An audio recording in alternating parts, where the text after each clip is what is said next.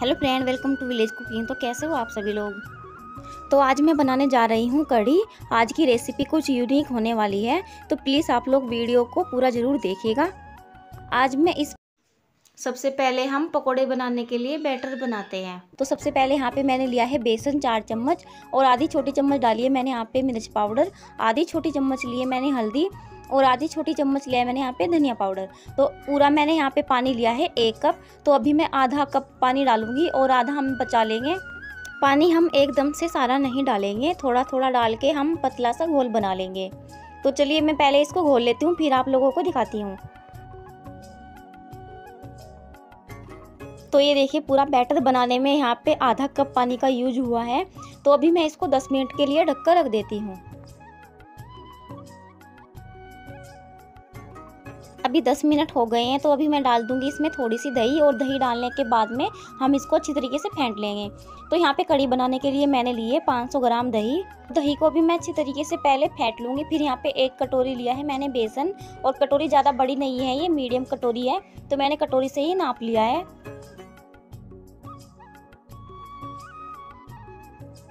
सूखे मसालों में ली है मैंने एक चम्मच हल्दी पाउडर, एक चम्मच धनिया पाउडर और एक चम्मच मिर्च पाउडर और एक चम्मच है ये अचार का मसाला कुटा हुआ।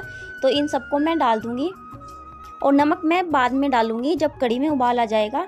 पहले नमक डालने से कड़ी हमारी फटी फटी सी बनती है तो इसलिए हम नमक बाद में ही डालते हैं। तो अभी पहले थोड़ा सा पानी डाल लिया है मैंने तो चलिए पतला सा एक घोल बना लेते हैं। और यहाँ पे ध्यान दीजिएगा, हमको एकदम आराम आराम से इसको मिलाना है। और यहाँ पे हमें एकदम से बिल्कुल स्मूथ घोल बनाना है ताकि हमारी कड़ी परफेक्ट बनकर तैयार हो। बेसन तो मैंने अच्छी तरीके से घोल लिया है। चलिए बनाना शुरू करते हैं। तो यहाँ पे सबसे पहले मैंने रख लिए कढ़ाई और इसमें डाला है मैंने आधी छोटी चम्मच तेल, क्योंकि मुझे बाद में भी डालना है तेल, तड़का लगाना है कड़ी में। तो इसलिए मैं यहाँ पे तेल का कम यूज़ कर रही हूँ अभी। अभी डाला है मैंने थोड़ा सा हींग और डालूँगी साथ में यहाँ पे अचार का मसाला। अचार के मसाले में आज हम लोग तड़का लगाने वाले हैं। अचार के मसाले में छोंक लगाने से कढ़ी की खुशबू दो गुना बढ़ जाती है और खाने में तो बहुत ही ज़्यादा टेस्टी लगती है। तो अभी मैं बेसन के घोल को भी डाल दूँगी और चमचा मैं साथ में चलाती रहूँगी और अभी मुझे पानी भी डालना है इसमें।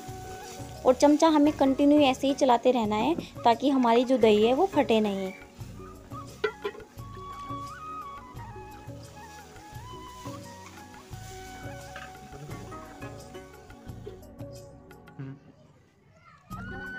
तो यहाँ पे कड़ी को तो मैंने छोंक दिया है। जब तक कड़ी पकती है, तब तक मैं बना लेती हूँ पकोड़े। तो आधी चम्मच डाला है मैंने यहाँ पे नमक। तो नमक को अच्छी तरीके से मिक्स करके अब चलिए पकोड़े बनाना शुरू करते हैं।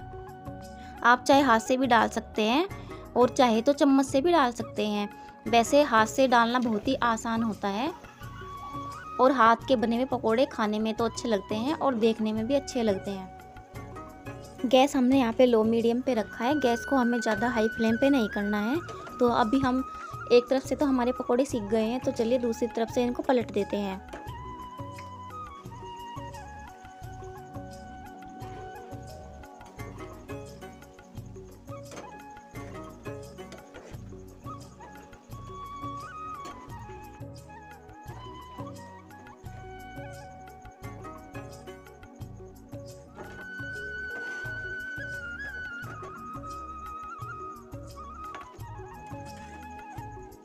यहाँ पे पकोड़े हमारे अच्छी तरीके से फ्राई हो गए हैं तो मैं अभी पकोड़ों को निकाल लेती हूँ।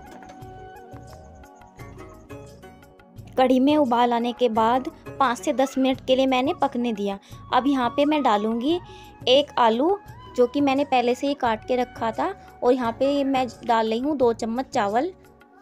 ये दोनों कढ़ी में अपनी दो भूमिका निभाएँगे। आलू अपनी दो और चावल अपनी दो। अब आप ये सोच रहे होंगे, मैंने कढ़ी में आलू और चावल क्यों डाले हैं? वो आपको वीडियो के एंड में पता चल जाएगा। तो यहाँ पे देखिए, पकोड़े भी मैंने बना लिए हैं और अभी कढ़ी में भी उबाल आ चुका है।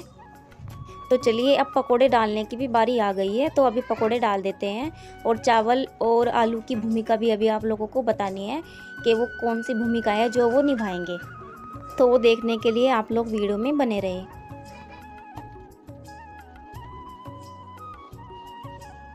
कढ़ी को हम 10 मिनट के लिए और पका लेंगे और गैस को हमें रखना है मीडियम। तो चलिए जब तक हम बना लेते हैं अपना तड़का तो यहाँ पे तड़का पैन मैंने रख दिया है और डाला है यहाँ पे आधी छोटी चम्मच तेल। तेल हमारा गर्म हो गया है तो अभी डाल दूँगी मैं यहाँ पे साबुत मिर्च।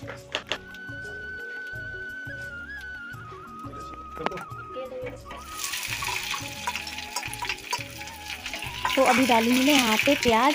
और प्याज मैंने दो लिए हैं यहाँ पे। दो प्याज को मैंने लंबे लंबे पीसेस में काट लिया है। और कढ़ी में मैंने नमक नहीं डाला था तो चलिए अब डालते हैं हम कढ़ी में नमक। नमक डालने के बाद में भी अच्छी तरीके से मिक्स कर देंगे। तो यहाँ पे कढ़ी तो हमारी पक चुकी है अच्छी तरीके से, और अभी तड़का लगाना बाकी है। इसमें पूरी कढ़ी बनने में लगी है यहाँ पे 30 से 35 मिनट। तो चलिए अभी आप लोगों को मैं बता देती हूँ आलू की भूमिका। तो यहाँ पे आलू की भूमिका बहुत ही अहम है।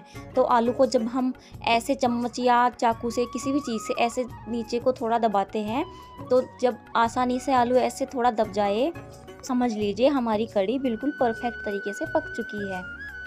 तो ये आलू की भूमिका है और चावल भी हमारे गल जाते हैं साथ में और आलू भी गल जाते हैं। तो ये है हमारा तड़का तो तड़का भी हमारा बन गया है। चलिए अब हम डाल देते हैं कड़ी में। तड़का पैन डालते समय एक बात का ध्यान दीजिएगा, जो हमारा कड़ी का ढक्कन है, उसको हमें हटाना नहीं है। तो तड़के की जो हमारी खुशबू होती है, वो सारी उड़ जाएगी। और इसलिए हमको ये ढक्कन ढक कर रखना है। तो अभी देखिए आप लोग। तो कड़ी देखे कितनी अच्छी लग रही है। और खाने में तो बहुत ही ज़्यादा टेस्टी लगती है कड़ी और सभी की मनपसंद भी होती है। और हमारे यहाँ पे तो तीज त्योहारों में अक्सर कढ़ी को ही बनाया जाता है और लोग ज़्यादातर कढ़ी को ही खाना पसंद करते हैं, कढ़ी चावल।